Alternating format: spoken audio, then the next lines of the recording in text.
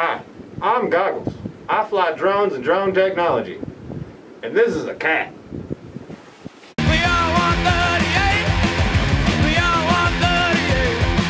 In the eyes of tiger. Do you think we're robot clean? This is best of come on me. What's up? Uh, yeah, last time you saw me, I was crashing a uh, Axis Manta frame with some bot grinder motors in, into a lake. Um, yeah, we're gonna do that again, but only on purpose with the help of um, some worry-free FPV stuff right here. So, we're gonna talk about this a little bit. So last time, um, I- we're just gonna say we don't know what happened. Uh, desync loose prop. I man, I, I really couldn't tell you. Um, however, I spent three days trying to get it back, never found it. So, bought a new one. Um, so this is uh, the same Axis Manta frame, uh, Manta Axis frame. Sorry. Um, and it's 5 inch. It's got some 2208 motors on there that are 1800 kV. Um, I've got, ooh, Crossfire update is the EP2 that you can't see in there. Um, I'm running the Happymodel 1 watt module, but not at 1 watt. Um, I have a 55 amp uh, F7 stack in there. Uh, just pushing stuff with a nice and good 6S battery. Um, I have no idea what props I'm running on this. I probably should.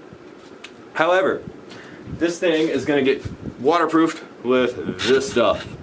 And it uh, won't be this video that it gets waterproofed because we're having some PID tuning issues and it's coming back with really hot motors. So we're to tune this thing up uh, over the next week or so, or two weeks.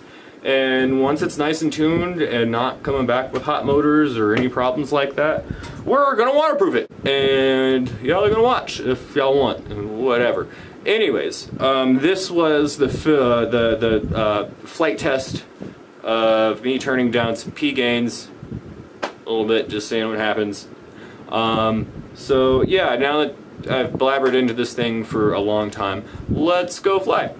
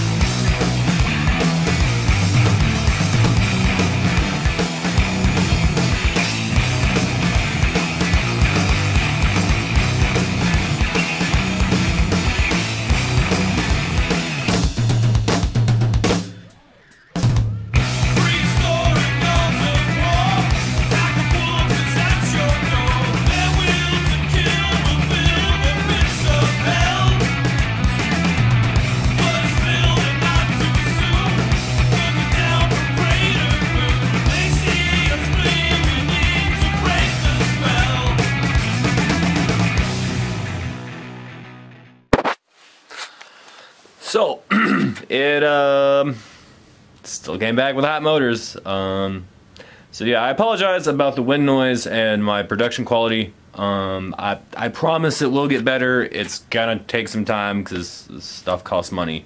And anyways, Um, thanks for sticking around. If you watch this stuff, I I really appreciate it. it means a whole lot. Um, anyways, see you uh, the next video. Yeah.